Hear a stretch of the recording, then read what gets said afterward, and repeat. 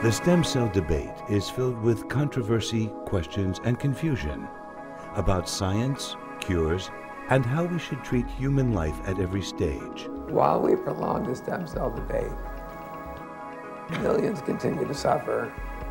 And stem cell research offers hope, hope of a cure. The embryonic stem cell fervor, I guess is the word I'm looking for, has blinded people to what else is available.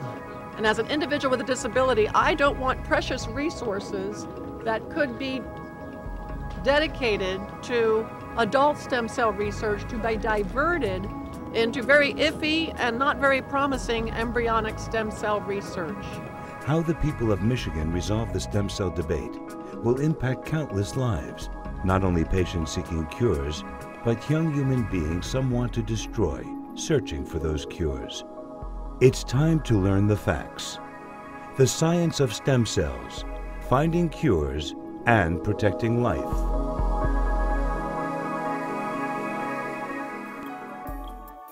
Viewed through the microscope, stem cells don't look like much.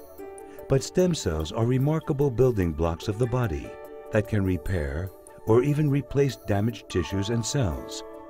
There's a rich supply of what's called adult stem cells found throughout the body, in bone marrow, fat tissue, even the amniotic fluid that surrounds and protects unborn babies.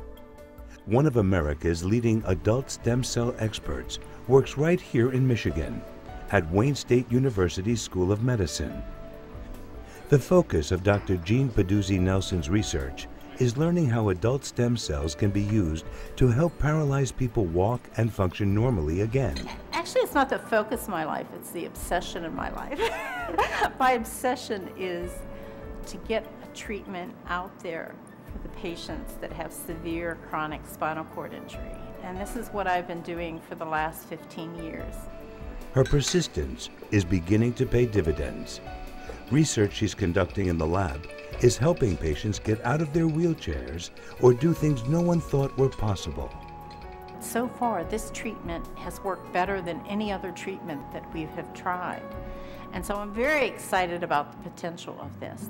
Many people don't know that adult stem cells are being used right now to help people suffering from all kinds of conditions, including heart disease, sickle cell anemia, multiple sclerosis, and much more. Pick it up. Pick it up. Let's go. Pick it up. The healing power of adult stem cells is bringing new hope to spinal cord injury patients like Katie DeHaan and Jenny Rummelt. Tragic car accidents left both Grand Rapids women paralyzed from the waist down. Doctors gave them little hope of recovery. But intense physical therapy sessions combined with a new adult stem cell treatment only available overseas means Katie and Jenny are experiencing real progress. Just like overall, I was like totally different. I was like 100% stronger in everything I did. And I mean, it seems like something's always either improving or getting stronger or I'm feeling different things when I'm putting weight through my legs or weight transferring, and a lot of little things that you wouldn't think about and you would take for granted, um, I'm able to do now. What is my end goal? Is to walk again. There are many reasons to be encouraged about adult stem cell successes, but it's another kind of stem cell that gets most of the news media's attention. Embryonic stem cells are harvested from live human embryos which are then destroyed in the process. Human embryos occur naturally in the marital act, when sperm from a husband unites with the ovum or egg of his wife. It's the beginning of human life. Embryos can also be created in the lab using in vitro fertilization or IVF. One IVF procedure requires a technician to use a needle and inject sperm into a human egg. The new embryo is then implanted into a woman, where it continues to grow until birth. Thousands of extra human embryos are created by the IVF industry, then frozen and stored each year. Some people think we should conduct experiments with them. Some scientists claim embryonic stem cells offer the best hope and promise for finding cures. But there are real scientific problems with embryonic stem cell research that no one seems able to solve. In fact, not one successful cure or treatment has ever resulted from embryonic stem cell research. And scientists now say cures may not emerge for decades, if ever. Embryonic stem cells are unstable and tend to form uncontrollable tumors if transplanted into the body. Experiments also show our body's own immune system may reject these cells if they're used to replace diseased or injured cells. To try and solve that problem and to create still more embryos for use in the laboratory, scientists want to artificially create or clone human embryos. Cloning is known by another name, somatic cell nuclear transfer. It's the same process used to create Dolly the sheep. Here's how it works. Several eggs are surgically removed from a woman, and the nucleus of each egg is removed and discarded.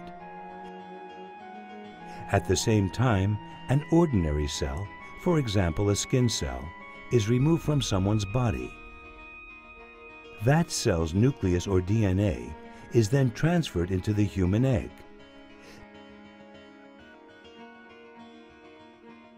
The act of cloning is completed when the scientist stimulates the cell with a chemical or electrical charge. That triggers cell division, quickly producing a multicellular embryo called a blastocyst.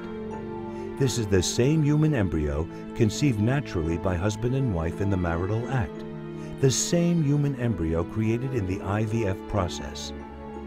All of them may be capable of growing into a full-grown child. What makes this cloned embryo different is what happens next. It is quite literally a matter of life or death. Inside the blastocyst are the coveted stem cells, but to harvest them, the scientist must always manipulate and destroy the human embryo. If human cloning like this becomes mainstream, the destruction of human life will be repeated on a massive scale. The cloning research uh, that the cloning researchers desperately want to do will require, um, you know, millions of eggs.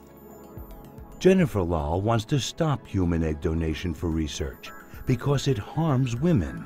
Lahl is a nurse and bioethicist, working with feminists from all across the political and religious spectrum. Hands Off Our Ovaries is calling for an immediate moratorium on human egg donation for research purposes. Without more testing, it's impossible for egg donors to be fully informed about what they're doing. The powerful drug injected into women that produces abnormally large numbers of human eggs can cause severe health problems. The condition known as ovarian hyperstimulation syndrome can bring brutal consequences upon women who donate their eggs. Bloating and cramping and swelling and mood swings, all the way up to serious risk like stroke, uh, like organ failure, uh, like death, and reproductive cancers. The massive quantities of human eggs needed for embryo cloning research will harm women. Many patient advocates oppose embryo destructive research, not on moral grounds, but because they believe adult stem cells offer them the best medical hope for healing and recovery. But to what extent can we use another human life to help our own? It is a question that cuts to the heart of the ethical debate surrounding stem cell research. Can the end ever justify the means? Embryonic stem cell research is a kind of technology that always involves doing violence to young humans. Father Tad Pacholczyk is a Catholic priest and a scientist. After earning a doctorate in neuroscience from Yale University, he worked as a molecular biologist at Massachusetts General Hospital and the Harvard Medical School. Father Tad is a leading Catholic voice in the fight against embryonic stem cell research. Although it has connections to religion, it is not, at the end of the day, a religious question. It is a question of basic human rights. The controversy, questions, and confusion about stem cell research will not end soon. Despite intense criticism, Catholic researchers continue to join others who are seeking to embrace and live out the gospel call to heal the sick while protecting life at every stage. The criticism leveled often at people who have ethical problems with embryonic stem cell research is that for some reason they don't care enough about suffering people. that they put uh, a moral objection above a suffering person.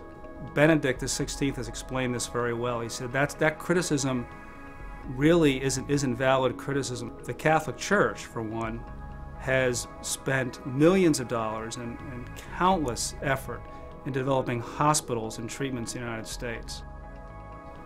They generally, over the years, have taken care of indigent patients. They have cared more about the sick and suffering than, than any other organization in the world. My feminist colleagues are united on the fact that we want women to be safe and well and healthy and protect. We don't want a biotechnology that abuses them. We don't want a biotechnology that profits off, off their bodies. And I just say, how dare us? Put their health on the line. Um, play with their own future fertility and be so casual about it. Patients are being told with various diseases and injuries to promote embryonic stem cells or cloning. But no one has revealed to these patients that there's a much safer and I believe much more effective alternative is to use their own stem cells. We go through remarkable and sophisticated mental somersaults in an attempt to tell ourselves that somehow this should be justifiable, that somehow this really should be okay, when in point of fact we know, just based on the basic biology, that there is a profound violation at the root of this proposal. Not only is embryo destructive research morally wrong, it has not cured anyone of anything. Adult stem cell research is already helping the sick today, while offering still greater hope for the future. The reality is, we can support the science of stem cells, finding cures and protecting life.